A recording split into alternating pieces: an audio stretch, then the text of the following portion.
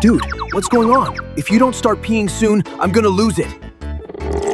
Boss, no way! The path's blocked! Only a tiny gap left! I can't get anything out! How can you not empty such a small amount? Ugh, what's going on here? A few moments later. Sir, this isn't internal heat. It's an enlarged prostate squeezing the urethra.